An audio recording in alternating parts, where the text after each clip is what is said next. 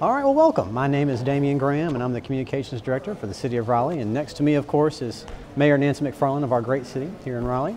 And this is the first of hopefully a couple episodes of a new series we're calling, very creatively, A Few Minutes with the Mayor, uh, where we get to hear from you, uh, the Mayor, about her thoughts about what's going on with the city and, uh, and with the City Council. So uh, today's episode, we're coming from HQ Raleigh and it was important to be here to kick off the series. Why do we pick HQ Raleigh? You know, I think HQ is really indicative of who we're becoming as a city. And we know that entrepreneurship is so important, and we see it across the country. Cities are really tapping into this. And, you know, we're very lucky that we have amazing colleges and universities that are just turning out this incredible talent. And this is the, the kind of place that that talent wants to be. You have access to um, services and you know other creative talents and thoughts that can help you along the way. And uh, it's just uh, it's a great asset for the city. It really is. It's an impressive facility. So I'm glad we're here. Yeah. So let's jump right into it. Put on, okay. uh, if you pull out your crystal ball, what do you see as some of the biggest challenges facing the council and the city in the next couple of years? Well, I think our biggest, you know, challenge is, is growth. It's um, one of those things. We are an incredibly successful city. People love it here, and then the word gets out. So we have lots and lots of people moving here, which is a good thing. You know, businesses come, opportunities come. It's a good thing to be a growing, thriving city. But it also brings a lot of challenges for us. Of course, I think the first one everybody thinks of is traffic congestion. Um, it's interesting, you know, a lot of times within the city you don't feel it as much, but boy, if you've been on 40 or Route 1 and that's your commute, you really feel the pain. And we are in a great spot to make those plans and those changes to keep us from being those areas that everybody's moving here to get away from. You know, we don't want to be choke off our own success. Right. So the obviously the transportation referendum coming up is going to be huge for us. But you know that also extends in to a lot of other things. Obviously, there's other resources, water and um, you know roads and, and all of those things we have to have to pay for. But it's also you know we see a change in demographics. You know we have a lot more younger people moving here. We have a lot of people from not only other places in the United States but around the world coming here. So I think for the council, it's really important to keep up with their constituent base as those changes occur because uh, the needs and wants of people are going to change along with it. So you hinted at it a little bit. So what would you say are your top priorities? Uh, for well, for sure, the the transit referendum is huge. Um, you know, we're also making changes within the city. Uh, we did a strategic plan a couple years ago. It sets uh, priorities for our strategic plan, and so this year I've changed our regular council committees, as we've always known them, Public Works and uh, Public Safety, to align with those strategic goals. And the city staff has cross-departmental teams that are already working on those goals. So it really is a new way for the city to function. And it's, um, you know, it's the council, it's the city really working all together as, a, as opposed to a more siloed approach. Mm-hmm. And I think we're going to see really great outcomes from that. Well, so one of the great accomplishments of, of last year and previous years is, of course, uh, Dorothea Dix Park. What are some of the next steps there?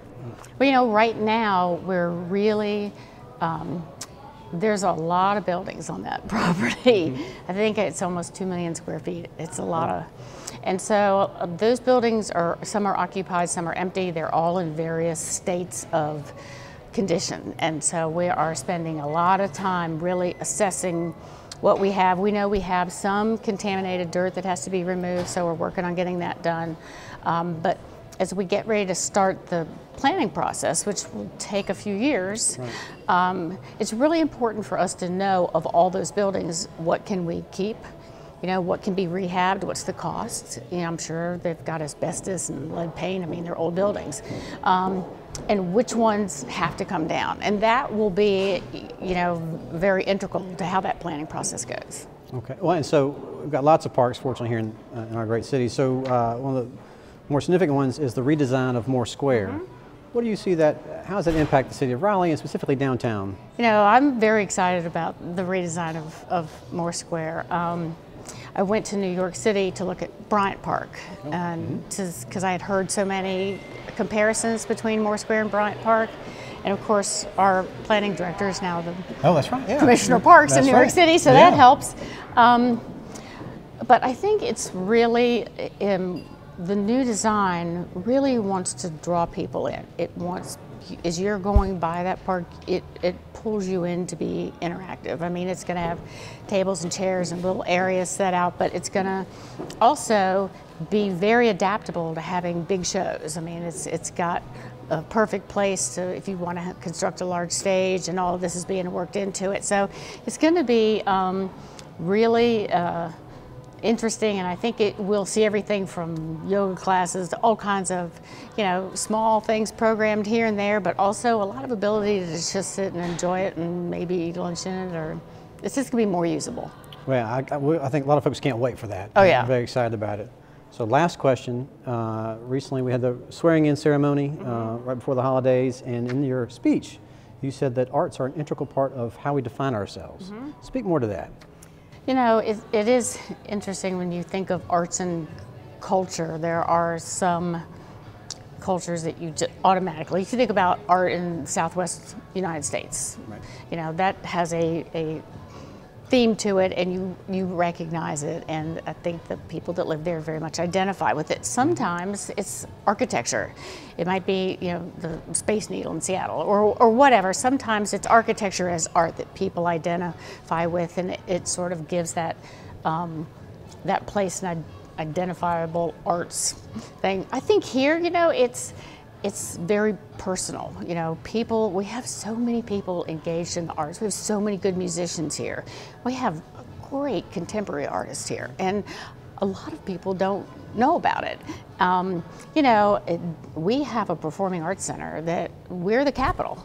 You know, we are home to the North Carolina Symphony and the North Carolina Ballet and the North Carolina Opera and the North Carolina Theater and choral. I mean, there are so many things that go on in that building that I think we need to do a better job of embracing that. It's not just the uh, sort of the standards like those, but it's the organic growth of arts that we're seeing. And I think we are in a great place with that uh, blending of technology and art. Because if you've you know been over to Visual Art Exchange or Design Box and you see some of the things they're doing with 3D printers, and you know we're just is so tech savvy here. And to see that incorporated with the strong base of arts, I think we're really going to see that more and more. We need to really nurture that and, and develop that because, you know, that's how people express themselves and that's how, as a community, you start to come together and really give yourself definition.